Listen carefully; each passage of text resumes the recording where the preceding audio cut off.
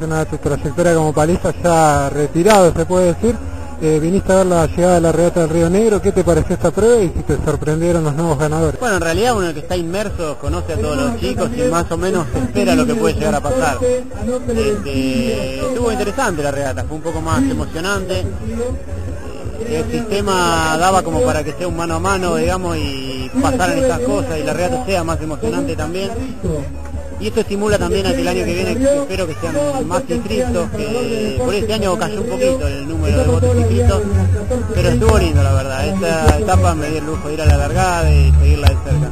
Y creo que bueno, ahora yo estoy trabajando en la federación con un proyecto de desarrollo y esto de que haya chicos jóvenes este, con hambre de, ganar y de entrenarse, este, creo que habla bien de nuestro futuro, que es eh, a lo que tenemos que apostar. ¿Cómo se mantiene este interés por los chicos? Porque hoy se habla de que 400 y pico de personas navegan por día, eh, aquí 7.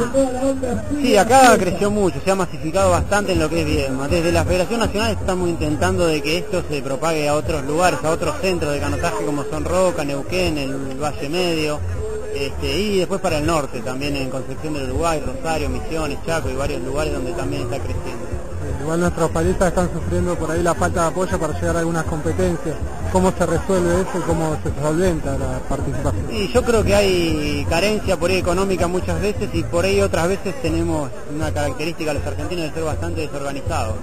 Este, no estamos acostumbrados a planificar el trabajo, y optimizar el recurso con el que contamos. Muchas veces, y eso me ha pasado a mí, de, de quedarme sin ir a alguna competencia de Europa con pasaje y plata en el bolsillo, este, lo cual me hacía pensar si en todos los casos es a veces problema económico.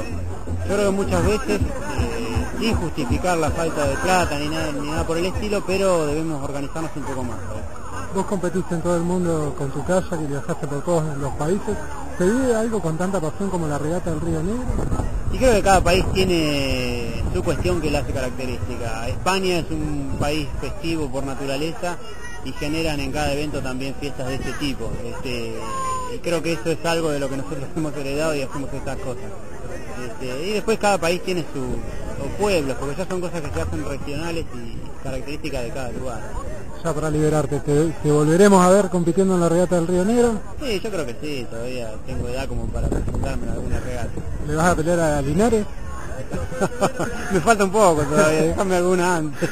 bueno, muchísimas gracias. Gracias a vos.